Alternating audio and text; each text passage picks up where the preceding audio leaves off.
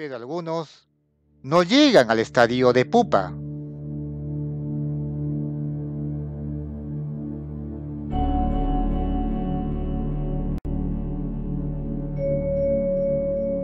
Esta larva de cuarto instar de manduca chinchilla, ya paralizada, es el soporte de las larvas de la avispa cotesía que salen de su interior.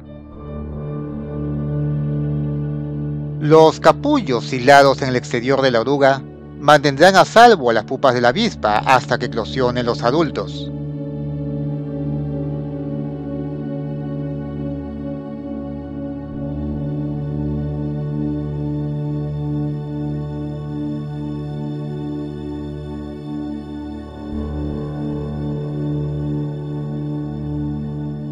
Estas cotecie, de apenas 3 milímetros de largo, se aparean y buscan una larva de segundo instar para inocular sus huevos junto con un virus simbiótico.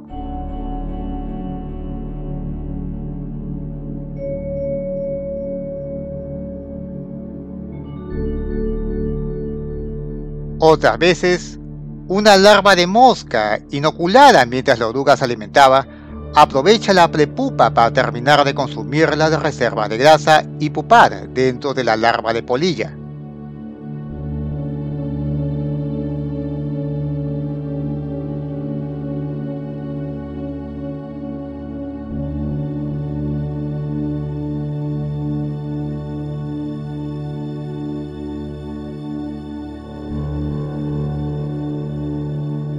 De aquí nunca saldrá el adulto.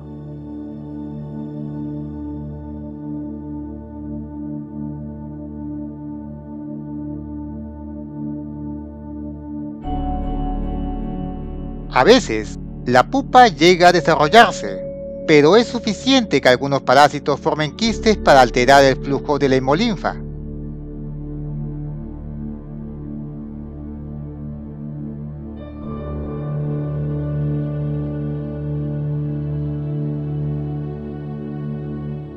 En este caso, el bloqueo de las venas del ala no permitieron extenderlas. El insecto tampoco pudo extender partes vitales como los palpolabiales.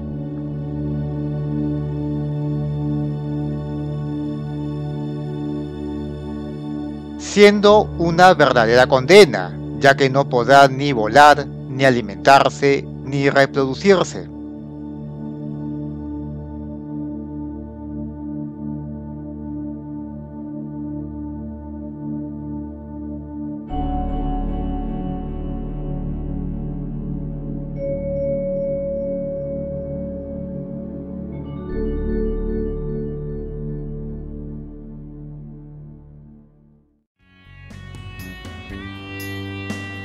Lo normal es que el adulto se desarrolle y salga sin problemas.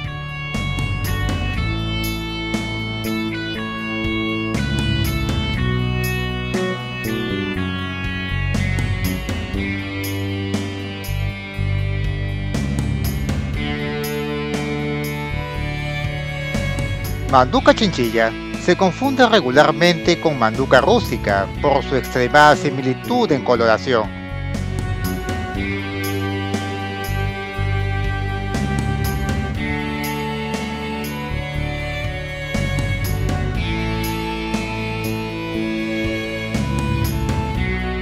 A simple vista, no se las puede diferenciar.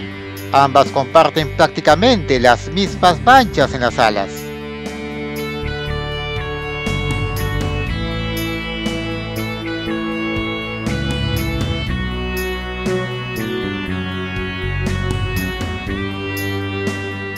Y en muchas colecciones ese es el problema, al asumir que todas son manduca rústica y yo me incluyo en eso ya que inicialmente asumí que todas las de estas características eran manduca rústica.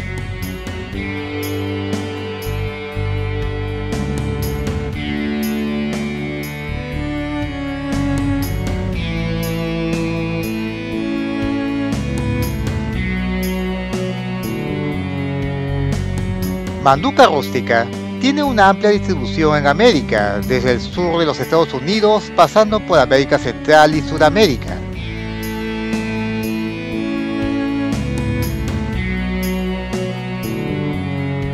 Pero Manduca chinchilla está restringida al suroeste de Sudamérica, entre Perú, Chile y Bolivia, siendo su localidad tipo el centro poblado de Charcani, en Arequipa a 2.500 metros de altitud.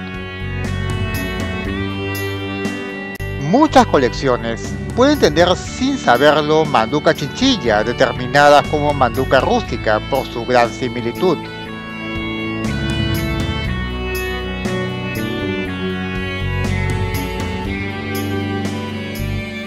Y es de esperarse que a menos que se tenga la información de los detalles para determinar cuál especie es cuál, simplemente no es posible llegar a tal precisión. Pero hay una forma muy eficiente de determinar si es manduca chinchilla o manduca rústica.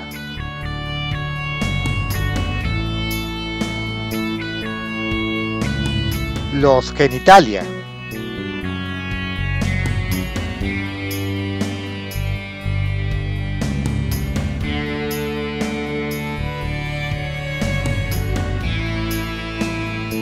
En los machos, el falus es lo distintivo.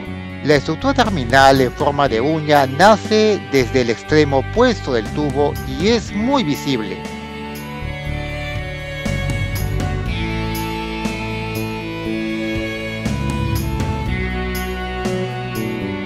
En el caso de las hembras, la bursacopulatrix es vital para una determinación certera.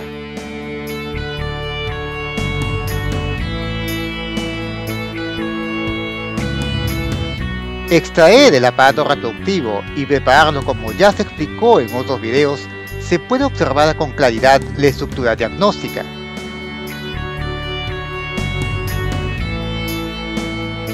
El ciñum en forma de B es característico de Manduca chinchilla.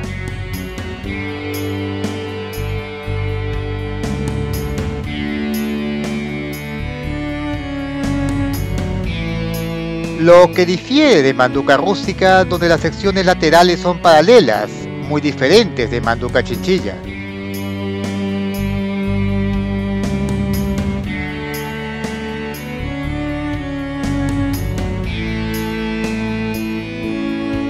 Solo de esta forma se puede determinar con certeza si se trata de manduca chinchilla o manduca rústica, pero pueden haber algunos especímenes que no hayan esclerotizado bien el ciño y sean difícilmente determinables.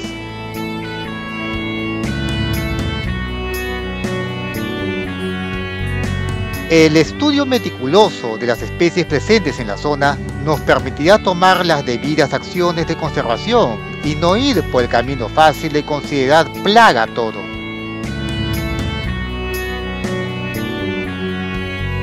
Manduca chinchilla es una especie muy poco conocida y dejada de lado por su similitud con Manduca rústica.